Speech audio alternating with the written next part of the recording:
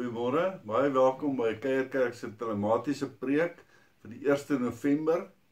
Ons is al reeds 220 dae in inperking in, in ons randtoestand. Ons ons kom vandag by die 12de aflewering van ons preekreeks oor Jesus se woorde en sy dade en sy handelinge. En die tema is Jesus se rebellie.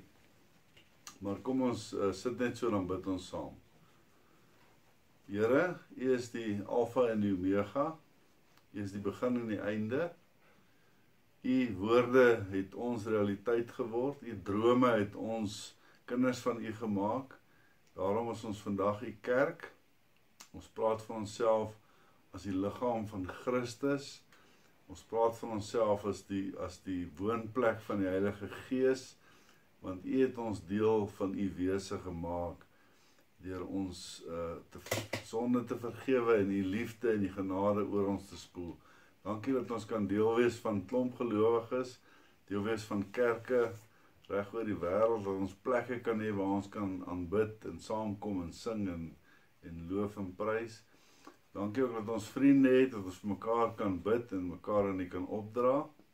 Help ons elke dag met die geweldige moeilike pad vol hindernisse en kronkels en draaie.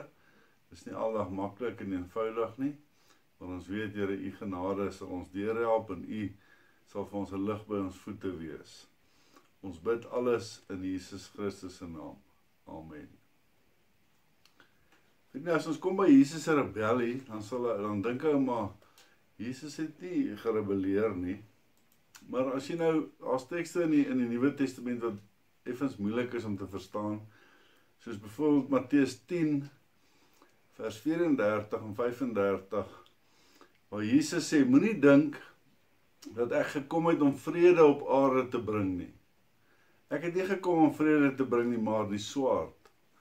Ek het gekom om tweedrag te bring. Dan dink aan skrikke ou dadelik as jy hierdie woorde hoor en dan wonder jy hoe om dit te verstaan. Maar as jy Jesus se verhaal lees in die evangelies, dan kom jy duidelik agter, hy was van die staanspoor af was Jesus het was Jesus gekant teen sekere dinge van sy volk. Ehm um, hy was ge in konflik en oppositie gekom teen sekere elemente. En daai elemente was die binnekant, die kern van die Jode, die skrifgeleerdes, die priesters, die fariseërs en die wetgeleerders het hy om teen ge, uit hulle geopeneer. En ons ons lees as ons uh, byvoorbeeld hier in Matteus 23 lees dan lees ons 'n teks soos Matteus 23 vers 27 lees ons elende wag vir julle skrifgeleerdes en fariseërs, heiligelaars. Julle is soos wit gepleisterde grafte wat van buite mooi lyk maar daar binne vol doodsbene en allerhande onsuiverheid is.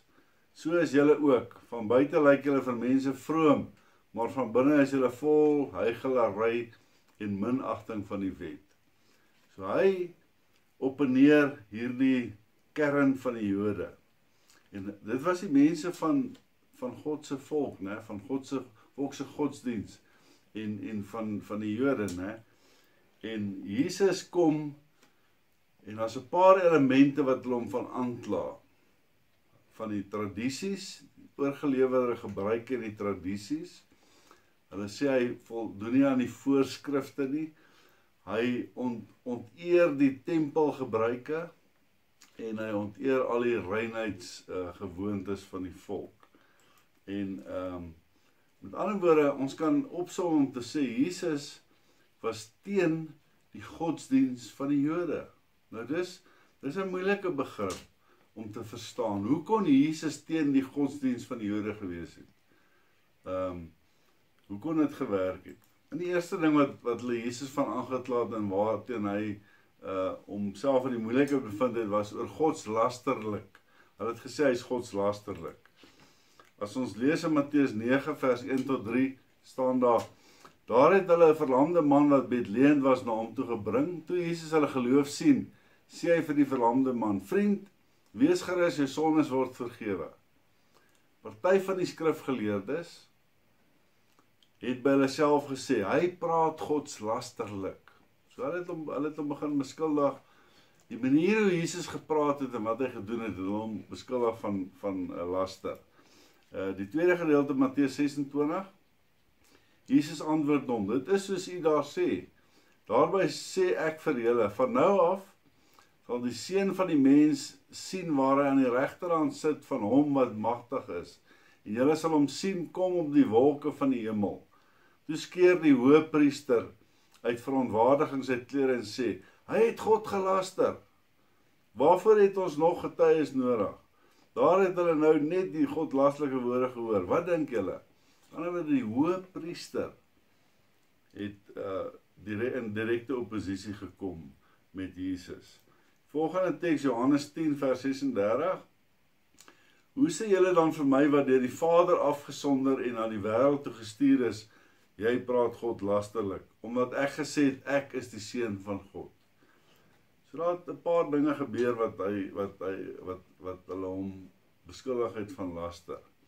Die tweede element wat Jesus uh die godsdienst van die Jode bedreig het, is hy het die Sabbat nie onderhou soos hulle dit wou gehad het nie en hulle het hom beskuldig van sabbatsonteiliging.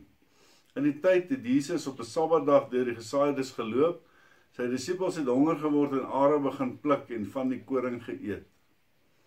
Toe die Fariseërs dit sien, sê hulle vir hom: "Kyk daar, die disippels doen iets wat nie op die Sabbatdag gedoen mag word nie. Mag nie mag nie geoes het op die Sabbatdag nie." En Jesus se se disippels het dit gedoen. Matteus 12 vers 1 en 2 Die skrifgeleerders en die fariseërs het vir Jesus dopgehou om te sien of hy op die Sabbatdag iemand sou gesond maak sodat hulle aanklag aanklag teen hom kan kry. En hulle het nie lank gewag nie toe toe het hulle hom. Ehm um, Lukas 13 vers 14 die hoof van die sinagoge was verontwaardig omdat Jesus op die Sabbatdag iemand gesond gemaak het. Hy sê vir die mense, daar is 6 dae in die week waarop 'n mens moet werk. Julle moet op een van daardie dae kom om om gesond te word, nie op die Sabbatdag nie. So toe belette hulle, die hoof van die sinagoge, belet die mense om na Jesus toe te kom op die Sabbatdag. Lukas 14 vers 1 op 'n Sabbatdag toe Jesus na die huis van die vooraanstaande Fariseer toe gaan, gegaan het om daar te eet, het hulle hom pyn dopgehou. So hulle het hom hulle het hom heeltyd dopgehou. In Johannes 5 vers 18 Hieroor het die Jode nog des te meer probeer om Jesus dood te maak. Hy het nie net die Sabbatdag ontheilig nie, maar ook God sy eie Vader genoem en hom so met God gelyk gestel. So dit was hulle hoofslagtes teen Jesus gewees. Party van die Fariseërs Johannes 9 vers 16 sê toe hierdie man kom nie van God nie, want hy hou nie die Sabbatdag nie. So Jesus het direk gerebelleer teen die manier hoe die Jode hulle godsdiens beoefen het. Die volgende afdeling is uh Jesus was totaal teen die tradisies en die oorgelewerde gebruike van die Jode. Uh ons sien dit in uh, Markus 7 vers 5. Die Fariseërs en die skrifgeleerdes vra hom toe: "Waarom handel u disippels nie volgens die oorgelewerde gebruik van die voorgeslagte nie en eet hulle met onrein hande?" Hulle het byvoorbeeld nie die eh, reinheidshandelinge toegepas nie. Hulle hande op die regte maniere gewas nie en so aan. Ehm um, Matteus 9:14 In die tyd het die volgelinge van Johannes na Jesus toe gekom en gevra. Dis nou die volgelinge van Johannes die Doper. Vra hulle vir Jesus oor sy volgelinge. Waarom vas ons en die Fariseërs dikwels, maar u disippels vas glad nie? So weer eens 'n godsdienstverbreeking van die van die reëls. Die laaste ding wat 'n groot probleem was vir Jesus teenoor die godsdienst van die Jode is die tempel. Jesus het op 'n stadium gesê hy sal hulle met die tempel afbreek en sal hy hom opbou in 3 dae. En toe daar gerug ontstaan dat hy sê hy sal die tempel afbreek. Dit ehm um, dit later toe hy toe hy gehang word Toe lees ons aan Matteus 21. Die mense wat daar verbygeloop het, het Jesus gelaster. Hulle het hulle koppe geskud en gesê: "Jy wat die tempel afbreek en in 3 dae opbou. Red jouself as jy die seun van God is. Kom van die kruis af. So hulle het hom begin beskuldig as 'n tempelafbreker. En die volgende geval wat hiermee saamgaan is hy het mos die tempel gaan reinig ook. Met ander woorde, daar was hierdie episode wat hy in die tempel gegaan het in hy laaste week in Jerusalem en die tempel omgekeer het en alles daar deurmekaar gemaak het. Ehm um, Matteus 21:12. Jesus het tempel toe gegaan en al die mense wat op die tempelplein gekoop en verkoop het daar uitgejaag. Die tafels van die geldwisselaars en die stoele van die druiweverkopers het hy alles omgegooi en vir hulle gesê daar staan geskrywe: "My huis sal 'n huis van gebed wees, maar julle maak dit 'n rowersnes." Met ander woorde, Jesus rebelleer teen die tipiese gebeure wat daar gebeur. En hy stel voor dat dit 'n ander ander aktiwiteite moet moet gebeur daar. So dit is die dis die ding.